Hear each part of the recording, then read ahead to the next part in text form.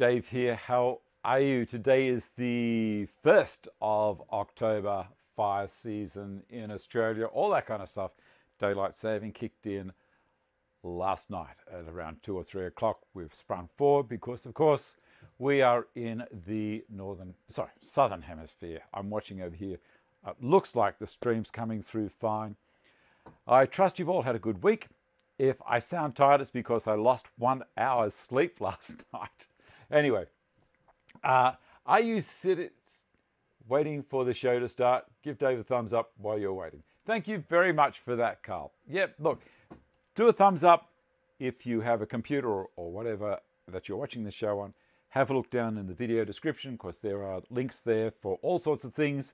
There's a 10% discount on one of the items for uh, these new saw blades that I'm trying out. I will be using the new saw blade and the table saw today.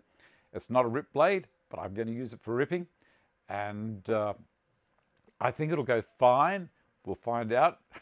and uh, so there's that discount code down there. There's also links to uh, other affiliations that I have, like TSO products. They've got links down there. They've got show sales on this weekend as well in the States. Uh, I think that's about it. AV is all good. Thank you very much. Morning, Ron. And you may also notice that I've just put on Facebook I've created a Facebook page for Vicky's business, which is her vodka that she makes. And that's basically to let people know which markets she will be attending, uh, what time they're on, and what day, all that kind of stuff. And her business is getting quite substantial now where we're going to split up, not divorce. We're going to go to different markets. I'll be taking one vehicle to a market. Vicky will be taking another vehicle to another market. Uh, what about the Amazon code? Exactly right, Carl. Thank you very much for that. That is also down there. Just use any Amazon link. I think it's down there. I will check. If it's not, I'll put one in after the show. So uh, again, if you can get that code, it, it might be for a toothbrush. Who knows? It doesn't really matter. Just as long as you use that code, even if you bookmark it and paste it up up the top of your computer, use that code. Every time you go in then following using that, that link, I will follow you into the store. And you might want to buy a toothbrush, you might want to buy a hammer, you might want to buy a new car. All that kind of stuff. If you do, it's no extra cost to you. it's just if you want to be kind to me, I will get a little bit of a spotter's fee back from Amazon. I'm not promoting them. I'm just letting you know that if you want to help me keep this show alive, because I've retired. I do need to have an income. You know, people like to eat, wear clothes. I've got to buy blue shirts. I've got to feed the dogs, all that kind of stuff. That would be terrific. Let's move on past all of that. So what I have now, Dave, I only said the Amazon, saw the Amazon link for Australia. I will do one, Carl. Thank you very much. Okay, now, fly screen doors. You'll see I have a fly screen door here behind me. Now this one in particular is the kind of style, I made this about six, seven years ago. This is the style that I like. I like a nice big area at the top here. And I'll show you the reason why I like this style because I have um, four panel doors as the entry doors. So let's see if I can find some pictures. This is a picture of one of the buildings on the property. This is the studio and it's got a, an entry door there that's a two panel door down the bottom. It's got four individual glass lights at the top. Now that's a really nice door. And the thing is with, with uh, summer coming along early down here at the moment, it's getting quite warm and the snakes are already out. And I can't just go leaving that door open. There is a dog door behind that bush. That's a uh, Daphne. So the Dogs can come and go as they please. That's not a problem. We did put the door in, that dog door in um, on the show previously. But I do want to be able to and allow a breeze to go through the building and have a fly screen door on there. And it'll be spring loaded so it doesn't get left open. Uh, all right, so let's have a look at the next picture I've got here, which is this one. So I've put this particular screen door just up against it. It's the wrong size, I get all that but it lets me have a feeling for what it would look like with that door or the similar door on it. Now, I can either make it with two gauze panels at the bottom like it's, it's got, or I can make it with solid panels like the door in behind it has.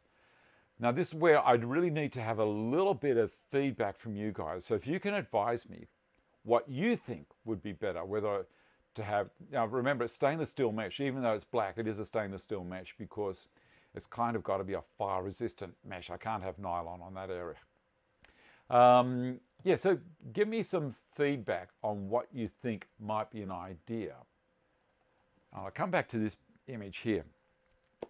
Now, some of the things that we need to take into consideration, you'll notice that that door has a. am just watching the dog running around over there at the moment, making sure there's no snakes that it's chasing. All right, uh, it's a fact of life. Uh, so I, I have an architrave on the outside of the, around the weatherboards to tidy them all up. Now the thing is we need to work out whether I'm going to have the door open left hand or right hand. Now you might say, well, what's it matter? A left hand door has the hinges on the left hand side.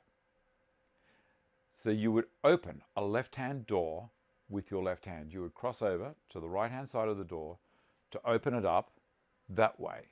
So when it's fully open, you're not crossing over like that to open a door. That would be using a right hand on a left hand door, which, you know, you don't do it. It's instinctively, you just don't do it. You will open a left hand door with your left hand. If it's a right hand door, the hinges are on the right hand side, you'll go like that and open such. It doesn't matter if it's opening out or if it's opening in. It's still a right hand door, no matter if the hinges, so no matter if it's opening in or out. Right hand is right hand for the hinges, left hand is left hand for the hinges. I hope, if nothing else for the show today, that's one thing that you've learned. If you go through your home, you can be really wise now and say to people, this is a left hand door. And they'll say, well, thanks for that. I get it all the time, don't worry. Things that are important to some people have no bearing of in life to others. Be aware, be prepared for that with woodwork. All right, let me have a quick read down the side here. Uh, John, morning, and fellow woodworkers have to visit Men's Shed this morning. We'll watch later. Peter, full screen in metal screen material. Peter, I think that's the way I'm looking at as I've got a dog door now that works, I won't have dogs going clawing at that corner. And if they do, they'll hit the door, the timber part. They won't actually hit the screen. So I'm thinking that might be the best. Let me read on a little bit more. Steve, you need to weed your path. That's happening this week. And I'm going to explain what's going to happen as well.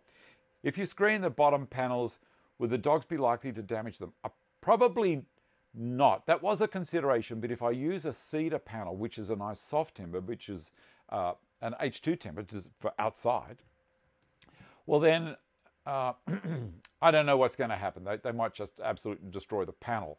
So hopefully they can just use the dog door and not worry about the pedestrian door for people. Brian, morning. Graham, morning, Dave. All right, now I did mention about weeding. Now that out there, there are 12,000 pavers that I laid. that took me a long time. I had a friend help me with it as well. Uh, there's 30 ton of road base and blue metal dust and cement stabilization under that whole area. It's a massive area. And there are weeds coming up here and there. They're not really getting into the, into the ground. They just get to the dirt that might have fallen underneath the paver and just in the little cavities. So what I do is I get the pressure cleaner out with a big head on it, massive head, and go around and clean the whole thing off. And then I get my whippersnipper and I just go nuts with that. I'll, I'll spend probably four hours over there just with the whippersnipper and a heap of line. And it's a battery one, so don't worry, I'm not running petrol engines or anything like that to do that. I will run a petrol engine for the pressure cleaner, but that's another story. All right. Um, Ron, if you have screen on the bottom, would you have a problem with dust blowing in? Uh, that's an interesting point. That is an interesting point. There's no real dust there because we've got so much lawn and hard surfaces out there. There's very little dirt that's exposed. Even the dirt that I've got in the gardens, I've got mulch over the top. So it's it would have to be dust blowing in from the desert, like in the mummy. I don't think that's going to happen. Um, Carl, what's a whippersnipper? Uh, well, I guess you could call it a weed eater or a line trimmer, all that kind of stuff. In Australia, we call it a whippersnipper. So it's a it's a shank with a, a, a battery pack on one end and a, a, a little electric motor on the other end with a head and with line out of it and it spins. I'm sure you know what I'm talking about. A lot of people have them with a petrol motor and that's got a flexible shaft down the middle of the, uh, the section and just the, the head with the trimmer on the end. But the electric ones have got the digital motor or electric motor right down on the end, which I didn't know until I destroyed one. Anyway, there we go. Chris, how are you? Uh, the best mower for pathways is blue. Most call it Roundup. Interesting question, interesting thing there, Peter, but my dogs think Roundup smells pretty good. And I don't want to have them die before the wedding. So this is what's happening next Sunday. I'm taking my time to get into the show. I know it. It's already 10 past and we're just having a chat. Next week, next Sunday, my grandson is getting married and they're having the reception here. So that's why I really haven't been putting out much content in the last couple of weeks. I have been flat out doing maintenance. Hence, this door, we're going to repair this door on the show today, and I'm going to explain a couple of other things about it. Okay, all right. Now, this is not a standard door hinge. This is what's called an extended butt. Now, the reason they call it that is because the distance from the point where you put it onto the door, from there out to the knuckle, out to the pin, is longer than normal. Let me see you. I think I've got another hinge here. This is a standard hinge, or part one length of a standard hinge. And I'm going to put it on top of there. So you can see how much further out the pin is on, on this one. Why have I got that? I'm using these on the screen doors. Remember I did talk about it right at the beginning that there is architrave around the door.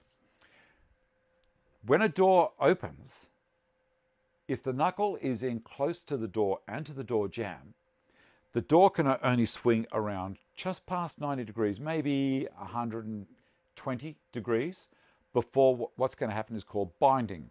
The door, the face of the door will actually start to hit the architrave and can't let the door open any further. Extended butt hinges take you out past. Say this is the door on the door jamb. My, this, this elbow is the point of connection. Ordinary door around, all right, this way to 120. Odd. Extended butts means bring this out further. And now you can see if it's out further, it can go all the way around 180 degrees. And the door can go from being um, open, or closed I should say, to all the way around so the door opens up parallel with the wall. So it goes out past, it, it allows the pivot to go out past. If you don't have things like this, what happens is the, as the door opens, there's a massive amount of leverage as a, on a pivot point, and the pivot point will be the um, it will be the not the fulcrum, it'll be the pivot point, I'm pretty sure, will be the edge of the architrave. And that will and the weight of the door and the inertia the door is already built up as it's traveling around will eventually pull all the screws out or, or tear the door open. So that's, a, that's just one of the little considerations that you've got to have with doors or with, um, with fly screen doors with architraves. Now another consideration we need for the door is remember I was talking about left hand and right hand. Do you want to open a fly screen door on the same hand as the pedestrian main entry door is? In other words, do you want to go up to a fly screen door and open it with your left hand, so like this, and then just reach in with your right hand and do this behind you as you're going into the door. So that would be having a left hand door for the screen and a right hand door for your entry door Obviously, both doors can't open out. They have to both, one, one would open in, one would open out. Some people have fly screen doors on the inside of a building. Some people have fly screen doors on the outside of a building. Um, let me give you an example of a fly screen door on the inside of a building. Let's say in the situation like this one, This fly screen door lives on the inside of the building, not on the outside. The reason being the there's French doors and they're exposed to the weather. If you have French doors on the inside of the building or any entry door basically on the inside of a building that opens inwards and doesn't have a lot of shelter from rain and things, what happens is the water will hit, it'll come down, and if you haven't got the bottom sealed really well, it will come into the building. So if you've got a sill, a, a door sill, and the rain comes down, hits the door sill, runs in, and drops down and comes, starts coming across the floor. Now, if that's a concrete floor and tiled, not such a big issue. But on this one, this is a two-story building and upstairs timber floor. You don't want the water coming in and then starting to run down onto the ceiling up from the, the floor below. So like, that's what happened. I had the door in opening in because I oh yeah, all fly screen doors got to go on the outside. No, don't do it. Double doors, second story, with minimal shelter, always make them open out. Because what happens is when you close them, rain runs down the, the face of it, uh, the sill is on the inside with a little rebate, or a rabbet as you guys in the States would call, and the rain runs outside. Not a problem. Onto the flashing and away it goes. So hence this one's on the inside. That's, so that's another consideration. The other consideration is if you have both doors opening left-hand hinge, left-hand doors, so open this way, and then the, the other door opens in that way as well, you might have both handles of the door. So you might have the handle for the pedestrian door and the handle for the fly screen door I might want to bump into each other. Hence, the fly screen door won't be able to close because it'll have this interference. If you want to keep things at the same height, there is a way around it. You have the door on the, swung on the other uh, hand, and so handle over there, handle over here. Easy. Or you can actually be a little bit um, normal. Can I say normal? Not me. You can be normal and not worry if the handles are at different heights up and down the door. So I might have the entry door might have a handle here because it's normal to put a handle where a rail is meeting the stile. That's a normal spot to put a door handle because it's not confusing, not up here. So that's on an entry door, and that's where it is on mine. I normally like to have a handle for a screen door down here as well, but I'm not going to. So what I'm going to do is I'm going to build a door. Actually, I'm going to build two. I'm going to build one for here and one for over there. So I will build a door very similar to this one, and I will have its handles here, up, up here and up here, so that they're out of the way and don't collide. Door lever hinge fulcrum. Yes, pivot point would be where it hits the architrave. So you've got hinge is is uh, is the fulcrum, is it? Could be, yeah. Hinge is the fulcrum. Pivot point is the uh, is the architrave that it might hit, and then the door itself is the lever, the whole whole length of it. Yeah, I think I think we've got it there, Carl. Uh, full screen on top and bottom hinge opposite to inner door. Well, here's some other considerations I've got. There is a light. See, there's so many little things you really got to think about. There is a light on the wall to the right-hand side. As I'm approaching the building from the outside, to the right-hand side of the door, maybe around this far away from the edge of the door, is a light in between a window and the door. And it's an automatic light, turns on, you know, looks cute, all that kind of stuff. And so if I had the screen door opening right hand hinge, it would be going heading towards the light and blocking parts of it. With the door opening left hand, it's moving away from the light. And so I've still got full light coming in to be able to put a key in the lock to undo the entrance door to get in. See, there's so many little things that come into play. Weather, um, the, the total environment around where the door is. And there's also that Daphne bush on the left-hand side. So I won't be able to open it up full width. It'll come to around about 110 degrees, but that Daphne bush will act as a soft buffer. So if the wind gets a hold of it, there's another element I hadn't even thought about. Where do I get these ideas? you don't care, do you? So if the wind gets a hold of this fly screen door and uh, throws it open, it's not going to reef it back real quick to tear it off its hinges. It will hit the Daphne bush. I think I've got it sorted. I think I'll swing it. No, change my mind again, again. I think I'll swing it right hand hinge. Yep, that's what I'm going to do. I'm going to open it towards the light. I don't care if I can't see.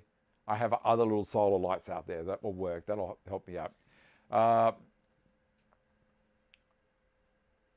I will put a automatic door closer on it. You know, that's like a little cylinder, looks like a push bike pump, but it's a cylinder with a little catch so I can hold it open if I want, or open it up so it's never going to kind of blow open. So there's other things. There's mechanical assistance. Have we absolutely covered every base that we can with it? Here's the next thing. What kind of materials can we make it out of? Being an external door, it's a good idea to use H2 timber, which is normally uh, cedar. Western red cedar at the moment is very expensive in Australia. Eastern red cedar, apparently, I'm told, is about half the price. So I can either make it out of cedar and put a clear finish on it, or I can do it like this one. This is pine. This is H2 pine, and it's had a, I've just painted it undercoat, primer seal, or all that kind of stuff, and then an exterior white gloss paint. And I think that's what I will do over there. So I'm going to check, pardon me, I'm going to check out the prices, see which is, you know, a, a good price. That's another consideration, dollars. And I will domino it together with the little 500. So I'll domino there, domino there, domino all there and uh, I'll make it slightly oversized so then I can cut it, I'll make the horns longer. See at the top here, the thing, the pieces of timber, these are called stiles. The height, I'll make them go past about 10 millimeters longer than I want. And then I can dress them all off with the track saw and just, it, it makes it so much easier. It really does. All right. I think, I think I've got just about everything covered as far as the doors are concerned.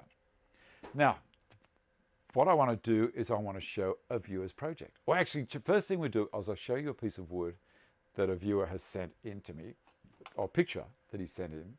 So this is from uh, Michael Jamison. Uh, it's a piece of camphor, 600 by 400 by 22 millimeters. And this is one of the reasons why I love this wood. Isn't that absolutely glorious? Tell me what you think. What would Michael make out of that? 600 by 400, which is 2 feet by 16 inches by 22 millimeters, which is 7 eighths of an inch thick, dressed. What would you make out of that? It's absolutely beautiful.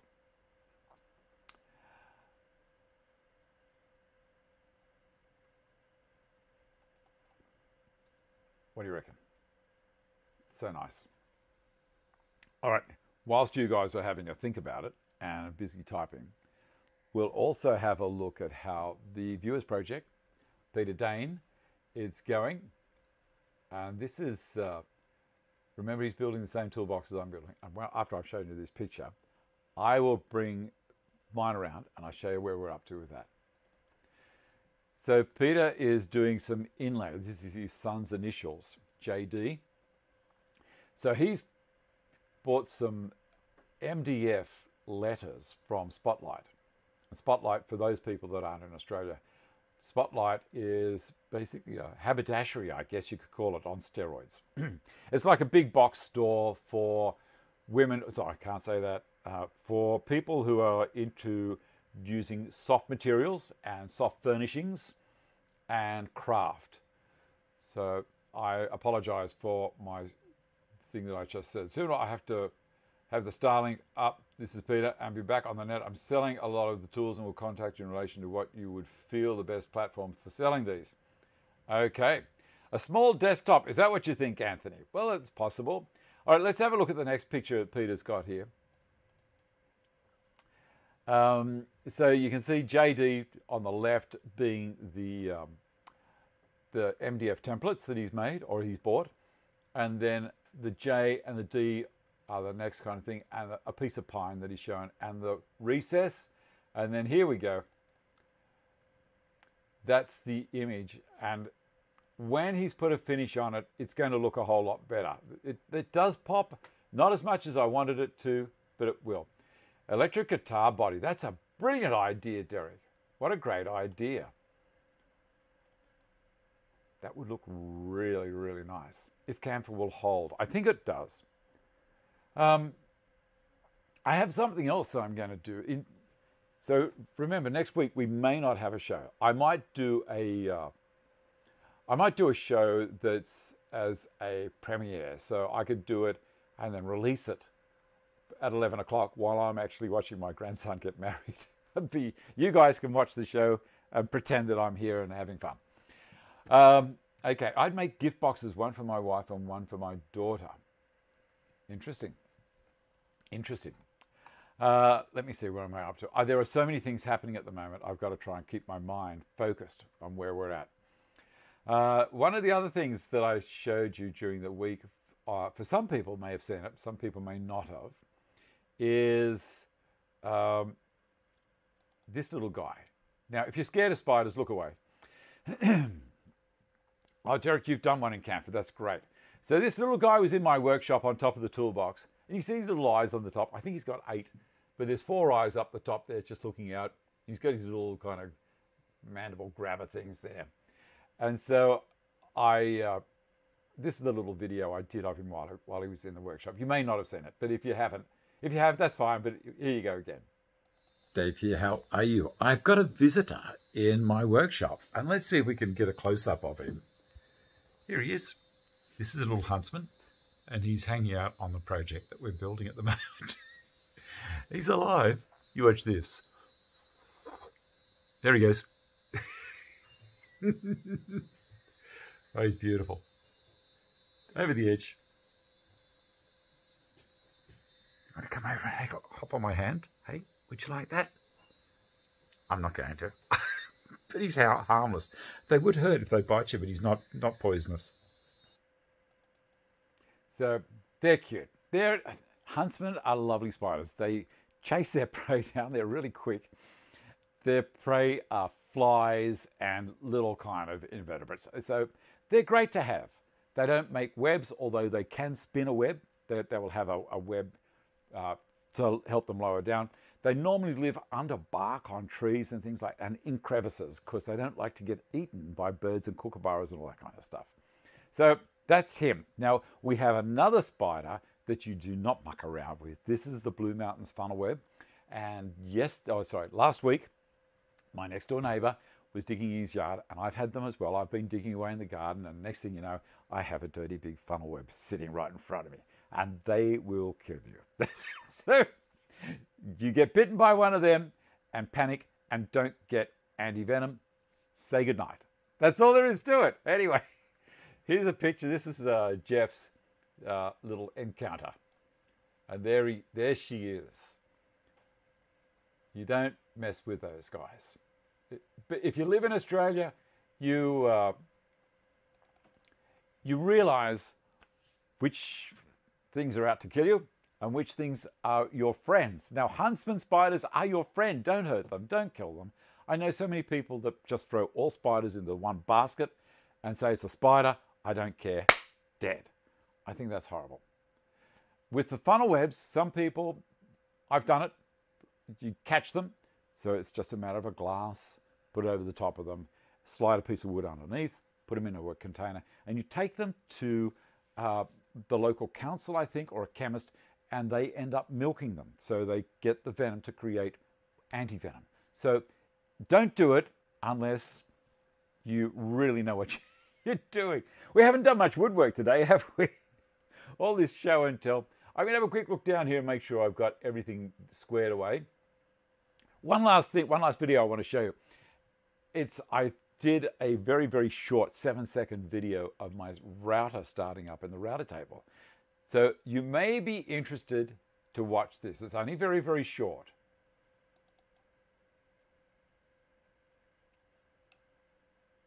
No, it's so short, it's not even there. I'll save it. I'll, I'll get it back and I'll save it for another show. I just thought uh, I'll just stay in the States. That thing is bloody huge. Steve, I would put trim around it and put it under glass to show the beauty of it and make a small tabletop. That's an interesting thought, Steve.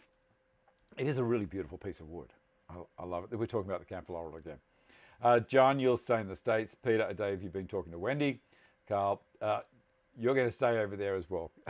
Carl, as I say, it's just one of those things.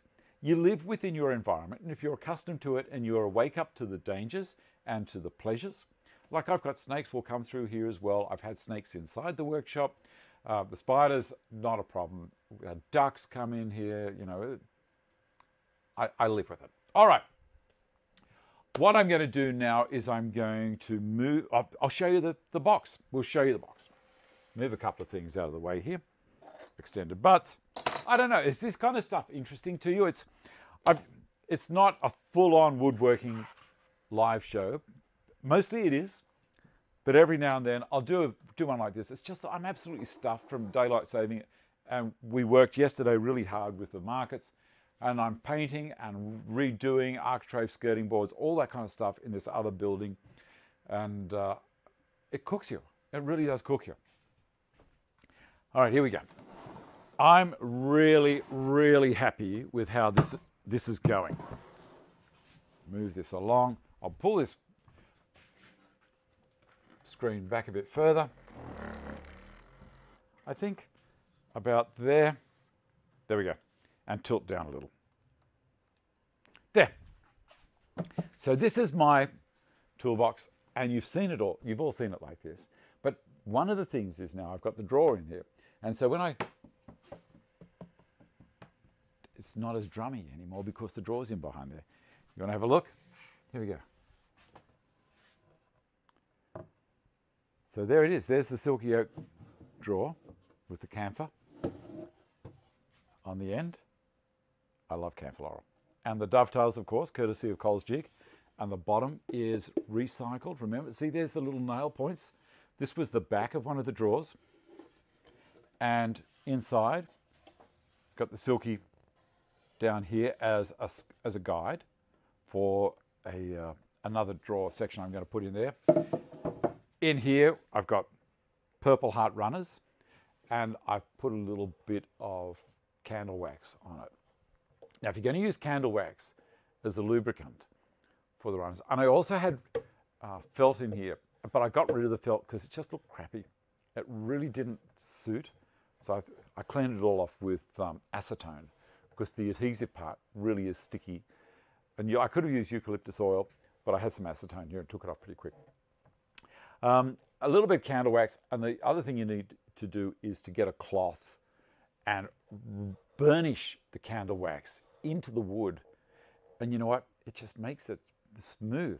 If you don't do that, it grabs. The candle wax actually acts like grease that's dried out. It just sets. So burnish it up and away it goes. Southerly Buster has just arrived. Oh, anyway, so I can have it like that, which is that direction, and the grain is beautiful, or I can turn it around, and the, this is the back of it is another draw front of silky oak. So it can go either way, like so. And that looks cool. Or pull her out, spin her around, and the other way. Goes. And then I've got to put some feet on it. Just doing that because it's a long draw. So it can sit up there when it's open. And the magnetic catches. Anyway, that's enough of that one. Which I just thought you might want to see where that was up to. That project's basically done. As I say, I'm going to put a sliding drawer in this top as well. But I'll do that, again, that's because I'm working from the side. And shut. All right, I'm going to pop that over there. Uh, actually, I'll take it down here, I think. I've changed my mind a lot, don't I? And seeing I've got some of the things off here, let me have a quick read. Double chain the dog. I, I, Florida is where the critters from Australia come to go hunting, like a foreign exchange program. Okay. Um, I'm trying to read through here. It looks great. Um, Derek, please translate. Yeah. Um, southerly buster just arrived at Mason's Bay. Okay, southerly buster means the wind is coming in from the south. So we have very strong winds coming from the south and they call it a buster because it breaks things. It bursts out onto the, onto the seam. All right, moving, moving things in. Don't get too close. And the other one I'll move in as well. And Derek, we had last night, Blue strong all night. Um, okay, thanks, Nath. All right, I'm going to go to the other camera and we'll do some ripping. And I should talk about that as well. Now you're not you're not going to have any chat happening at that time at this time. What I want to do is I want to rip that door. Uh, I've got to take a hinge off it first. So I'll get this, bring it down here so you can watch. I've taken all of the screws out except for one. Oh, sorry, three. Told a lie. Again. One, two, and the third one. Three. If you're ever ripping a door down, make sure you take all the bits of metal off it because it's no fun. if, if you cut something and halfway through, you're running into something. Now, this side of the door, there is, there's nothing on it. There's no molding or anything like that. I want to cut the rebate off. What's happened here? The door has shrunk by about six millimeters over the pair of them. So I'm not getting a proper lap on this lap joint.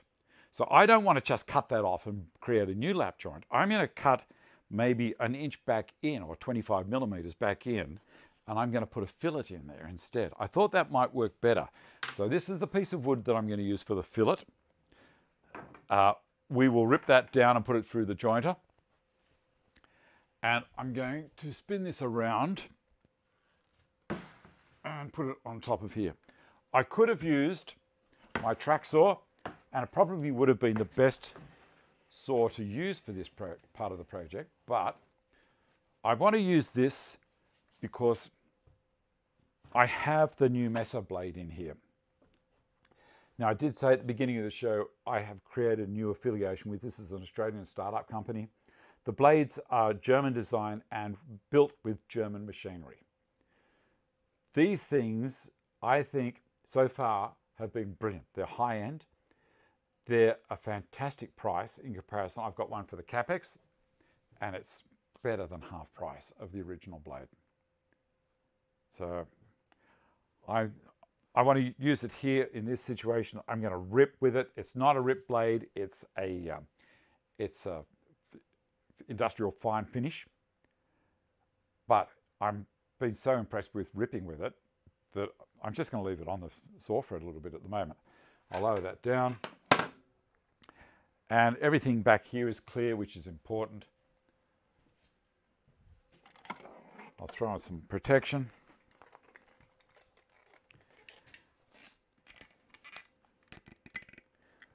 Again, always make sure that your path for the exit of all of this stuff, entrance and exit for the going through a saw, it's clear.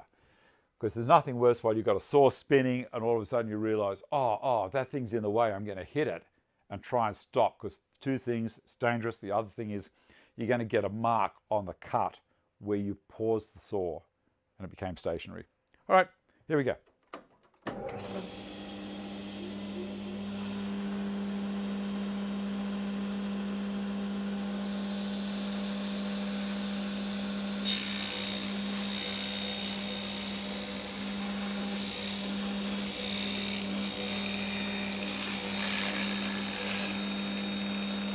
Are catching on? Nothing. I was just being a little bit cautious.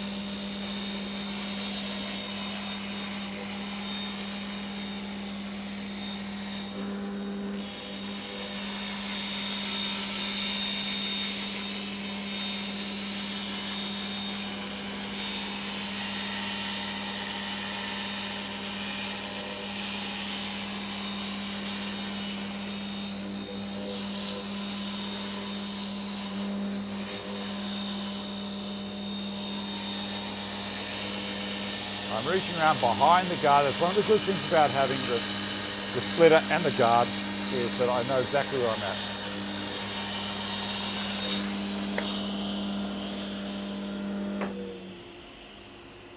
That is such a nice cut. That's beautiful. Have a look at that.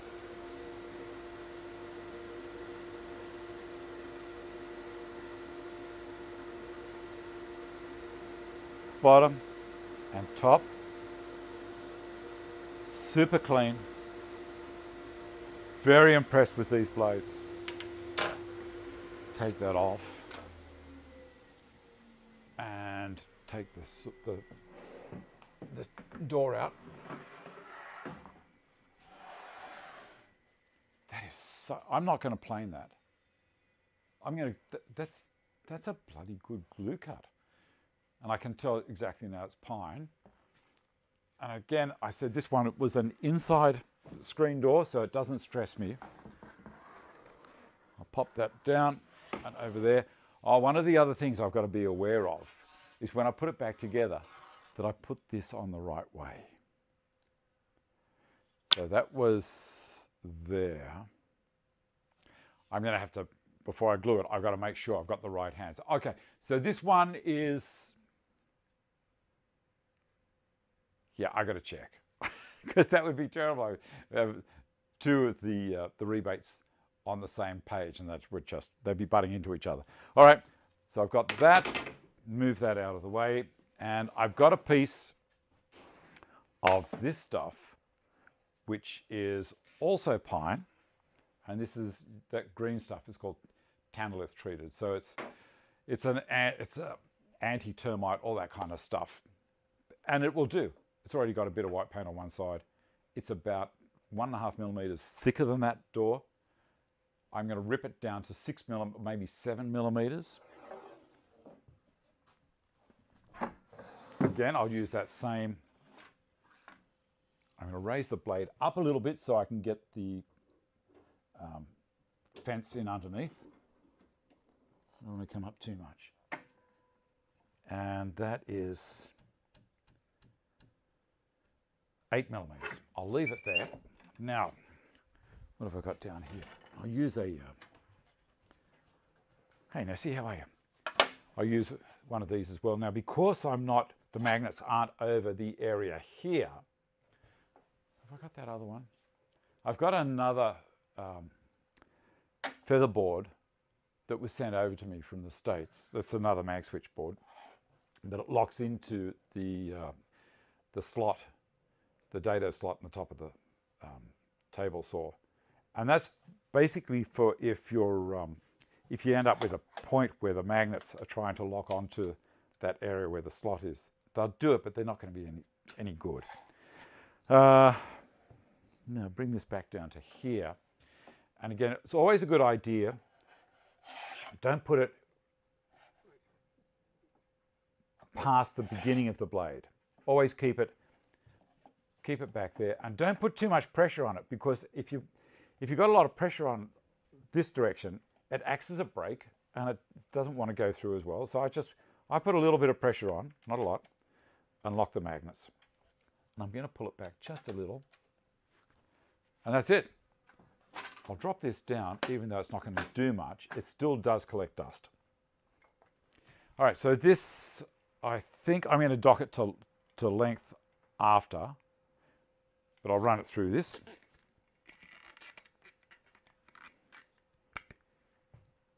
Again, it's not touching the blade. I've got it back from the blade. This is holding well. I'm going to lock the blade's height, release this, and start.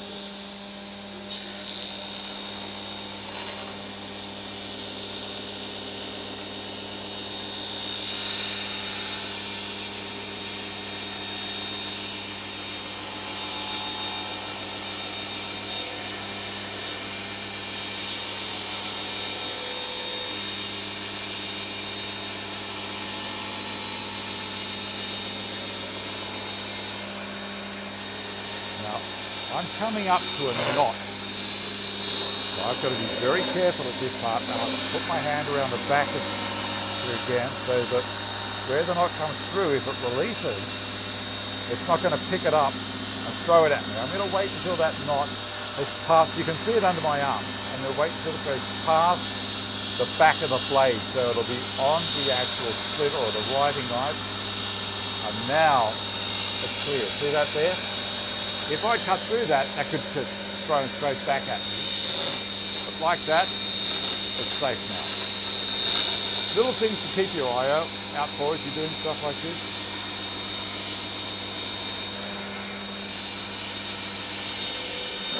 What a nice blade. Isn't it beautiful? I'm coming around the back again like this. I'm going to come around behind and pull the blade, pull the wood through the rest of the way. I'm holding the offcut and also the piece that I'm wanting.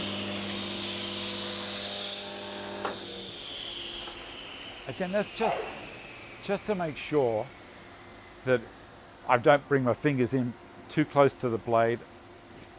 It doesn't care if it bites you or not. It's a nice blade and does a great job, but it makes it, it would make mincemeat of my fingers. And look at, look at that. How nice is that cut? Again, top and bottom. It's really handy having the white paint on there because then you can see what's happening. All right, now the plan is I've taken a little bit more than what I said I was going to because I removed 3.2 millimeters with, the saw cut when I cut that piece off. So I've, I've set this at 8, so 3.2. We're going to be about 5 millimeters. The difference was, was uh, 6, and that was a tight cut, a tight fit, I should say, on the, on the lap joint. So now I've got five, which is going to give me one millimeter down the middle, and I'm hoping that's going to be right. If it's two millimeters, that's fine. I've got, I've got a five and a half millimeter overlap. And if it's a three millimeter, that's going to be just nice. It's going to be, I think it's going to be beautiful. Let me have a look here. So that's going to go into there like so. I'm going to turn it the other way up because I might be able to keep that paint how it is. And then this one is going to go on here like so, and glue it together. Now I have to glue it together. It's 10-2. I need to do a quick check. Move all that over there after I've just sent everything flying. Move this one back.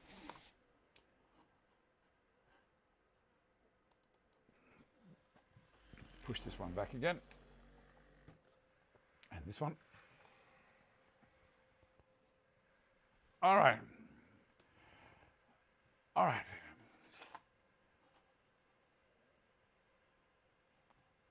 Let me have a look here.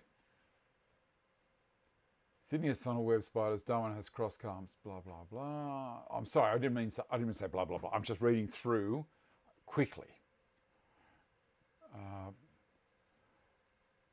strong enough to blow the dog off the chain. Okay, uh, not everything in Australia is trying to kill you but a lot of it can if you mess with it. Uh, simple answer, don't mess with it, can't cure. Exactly right, exactly right. Uh, idle hands, well, in Florida, everything does want to kill and eat you, including the people and weather. Oh well. Um, Anthony Sydney has funnel web spiders. Darwin has cross calms. Oh, Cairns has jellyfish. Perth has sharks. Adelaide has serial kill. Hi. Um, Currently watching two things, Dave, on the screen and a small bushfire 20k away on, out the window. 25 engines, engine 3 helicopters. Uh, catching on hesitation. Better safe than sorry. Darwin has crocs. New Zealand, redback spiders. Numerous times I wish I did, making it before I cutting. Yes, just cut up an apple, lovely. Uh, ice cream. Okay, so now we're getting into the chit chat. Those blades are excellent value for money. I reckon so. Because they got in touch with me and, and said, well, we're an Australian startup company based in Adelaide. This is the uh, credentials. We, you know, we use all this German machinery to make the stuff, and it's a German design. And it's got anti-kickback design as well, which is nice. And I looked at it, I thought, you know what? Why not? I will try them for a while. And I have, have, have been trying them. You can see that. I put a couple of posts up on Facebook and Instagram. And I, I can't fault them. And for their price, very, very, very, very nice. Anyway, as I say, links in the video description down the bottom. There is an affiliation and also it's a 10% discount off their great price. I think the Festool blade that I've got in there, a 60 tooth Festool blade, for me from Festool, is $365, around that. Messer's identical blade. The only thing different is instead of a 2.6 millimeter wide kerf, it's got a 2.5 2.5 millimeter wide kerf. So we're looking at 0.1 of a millimeter, which is 100 microns. I'm not concerned. So that is 135. They're doing them at 125. And also, if you use my code, it'll bring it in around about $115 and it's free delivery. Why would you? Why would you? And it's got the negative rake, five degrees negative rake, everything identical. 30 millimeter bore for, to go into the saw. That one there can be run with saw stop as well. So they've got 254 and they've got 2, 260, I think, or 250. Whatever size you need for the SawStop, they've got it. They've got a 60 and a 40, and a laminate cutting blade as well, which is something that I'm going to ask them about. I think you might need to send me that laminate blade up as well. Anyway, I think their product is really good. And if it's an Australian business, I'm over the moon to be able to help support them. And also to, to get some nice goodies in the post and, uh, and play with them here in the workshop and let you guys know. If it's a rubbish goodie, I will tell you that it's rubbish. If it's a good goodie, I will tell you it's a good goodie. You can trust. Not a problem. I have to go. Uh, great day next week. I will, Steve. Thank you very much. 254 millimeters. Most blades are only, those blades are only in Australia. Uh, I, they, develop, they deliver around the world, Carl. Not a problem at all. I don't know what the delivery fee for going over to the States is. It might be free. I don't know, but it's free delivery in Australia. You know, like with TSO products, it's free delivery for a lot of their things within the, the contiguous states of Australia. So it's the, the 50, I think it is contiguous states. So Alaska and Hawaii are out of that. Um, contiguous meaning all borders of all the states are interconnected. Basically, there's there's there's contact. Where with Alaska, obviously you've got Canada in the way, and with Hawaii you've got the Pacific Ocean in the way. Uh, yeah, so that's that's a bad thing for us in Australia that TSO are like that. Uh, but it, it, does cost a lot of money. I've tried to send stuff overseas, so I know exactly the cost of sending stuff overseas. Hence, I don't send my benches anywhere apart from Australia. Uh, and these guys are looking after us. And we need looking after every now and then because it's fair. All right, I'm going to uh, I'm going to wind the show up now. I'm going to glue this door up this afternoon. I don't want to have you hanging around watching. So what we'll do is I will start the patrons meeting. If you're in the continental uh, US, okay. I'm going to have the patrons meeting if you're interested in joining that, you got to be a patron. You know, get in for a buck a month if you want. And uh, we'll have a bit of a chat, a bit of a chat. And I think that's about it. I'm sorry I didn't do anything woodwork on the show apart from two rips on the table saw, but you have seen the, the finalization of that toolbox and you've seen Peter's toolbox coming along and it looks beautiful. Uh, and I'm sure come Christmas time, his son is going to be over the moon about it.